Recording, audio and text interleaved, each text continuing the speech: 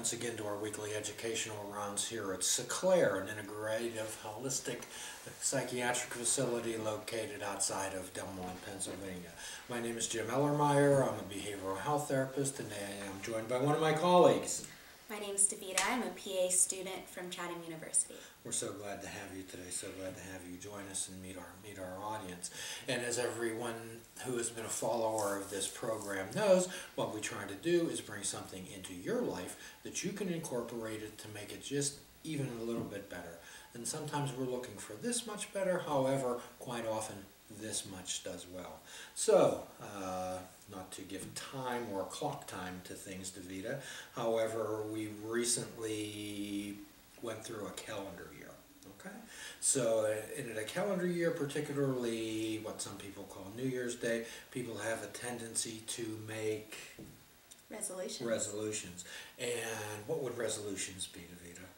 uh, could be anything from wanting to run a 5K, Mm-hmm. could climb Mount Everest, Mm-hmm. you could lose some weight. Mhm. Uh, ultimately, I think that resolutions, though, are when you're trying to force a result, uh, which becomes an issue because you're trying to force the circumstances of your life to align with your goals. Hmm. Well said. Well done. So, what we try to help people do is understand the difference between resolutions and intentions. So, if you could give uh, your interpretation of what an intention is. Sure. So the way that they differ is a resolution, the definition means to solve something, and there isn't necessarily anything that you need to solve to fix uh, when it comes to your life. So intentions are a goal, a plan, or an idea. It's something that you come up with uh, that you want to create, something that is in line with the vision of yourself that you want to be. And intentions, resolutions often involve words like I need to, I must, I have to. Uh, could you say a little bit about this? Because I believe that they're included in most people's vocabulary, Davida. Yeah, I, I think those words are self defeating. So, uh, using those words sets you up to uh, feel negatively about where you are right now. Uh, intentions avoid those words I need to, I must, I have to, I should, and I can't. Um, and that's important because, as you say with abracadabra, that means what I speak, I create. So, what you speak to yourself, you will create for yourself. Stay there for just a moment. So you're telling me that you can make magic I think so. in your own mind? Wow. Sure. So have you ever made magic in your life, Davida? I think so. Okay, great. So one of the ideas about resolutions do not give you choices, do they? No. When you the shoulds, the have tos, I need to, you take away the choices in your life. And actually, so if I'm saying I have to lose 50 pounds and in six months that if I do not, th- that kind of means I failed. Right. that I'm a failure. And those type of those type of setting up unrealistic expectations. So much of the anxiety, much of the worry, and much of the concern and the fear that we have in our lives is trying to live up to unrealistic expectations that we set for ourselves or unrealistic expectations that others put on us. And quite often there's so much unrealistic expectations others put on us. Could you help me understand why we put them on ourselves? Sure. Uh, I think that it's forced by the society that we live in. It's not necessarily a good way to go about your life, especially not in the new year. If you want to think positive, be positive, and be happy, then putting those uh, putting those restrictions. Have you ever met someone in, let's say, December of the year and says, on January 1st, I'm going to do this, so da da da da da. Yes. So have you ever said to someone, well, how about right now? No, I haven't. How about right Start right now? So perhaps ever going out there, uh, and as you know, we're all about mindfulness, we're all about being here, right here and right now. So my suggestion is when somebody brings that up to you, I'm going to start on the first of the year, you could ask them, where are you at? And of course, the followers of this program know the answer could possibly be right here. And the answer to what time is it, if you could ask a friend, where are you at? What time is it? Well, the answer, of course, is right now. And you could ask your friend, what other time could it possibly be than right now? So what we're doing is we're talking about making choices, are we not? We are.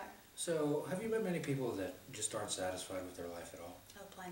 And we want to remember that our lives, our life is made up of choices, okay? And if you're dissatisfied with your life, David, I would suggest that you start making better choices. So let's say that uh, I, I want to make an intention, okay? Let's say that I have an intention to spend some quiet time with myself every day.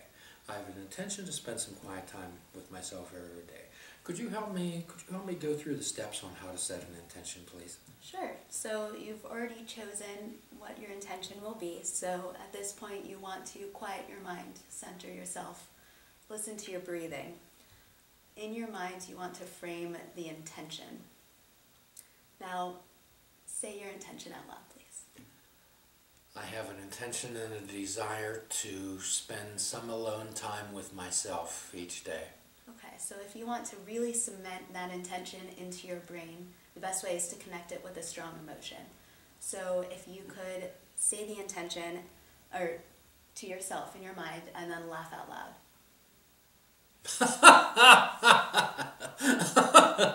Ah, I have an intention to spend more time with myself. and uh, I feel better already. I feel better already. So when we talk about uh, we talk about repetitive action, do we not? We talk about repeating. So when you were young, your parents would give spelling words to you, I would suspect. Okay. So the first time you were able to spell green, did did, did they clap their hands and they say, "Great, David has got it. We'll never ask have to ask her how to spell green again"? No. No. No. So one of the other things is when you did your multiplication tables, when someone would say, Davida, what is three times three? What would your answer be? Nine. Nine, of course. So, and did they just say, well, she's got that. We'll never go over that again. They didn't. No, I it's wish it's, they had. it's repetitive, repetitive, repetitive. So what we're trying to do is set up new neural pathways inside your brain. We're trying to help individuals do some cognitive restructuring. And by taking the type of exercise that Davida just showed us, what we're what we're doing is that cognitive restructuring. We're doing that positive self-validation. We're doing that reframing in your mind, envisioning it, much like much like sports psychologists do with, with, with especially baseball players when they have envision at the bat, envision the ball coming in, envision them holding the bat, envision the swing. It, uh, it, it's a great deal of help. So tell me tell me some of the resolutions that you've set in the past. I had one a few years ago to run a 5K. Uh, that went poorly. But I did get healthier that year, which I think would have been an appropriate intention. I think the goal was to be healthy, which is why I wanted to run a 5K. Mm-hmm. That might not have worked out so well, but I'm proud of what it turned into. Mm-hmm. And one of what was so what was your motivation for setting that goal ambition? What was your motivation? Uh, ultimately, to better myself. Mm-hmm. So ideally, what we want to do when we set an intention versus a resolution, we want to ask what what motive what what is our motivation in setting an intention? Mhm. What is our motivation? Are we doing it for someone else, or are we doing it for ourselves? Right. Okay, so it, that then that involves some introspection, does it not? A little bit of self-examination, great.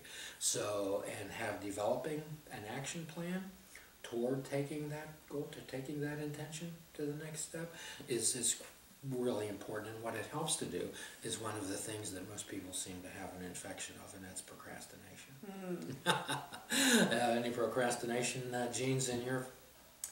You know, at some point in my life, I was surely a procrastinator, Mhm. but as I got older, I think I figured out that the earlier that I do something, the easier it is on me in the long run. Well, I'm glad you figured that out. As uh, at my stage in life, I'm sure that when I get to the Procrastinators Hall of Fame, there'll be a statue of myself outside. So Might be tomorrow. It could be tomorrow. I'll, I'll get there sometime. I don't know when it's open to tell you the truth. So I hope that you enjoyed today's podcast. I hope that you take that instructions on the intentions and incorporate them into your life.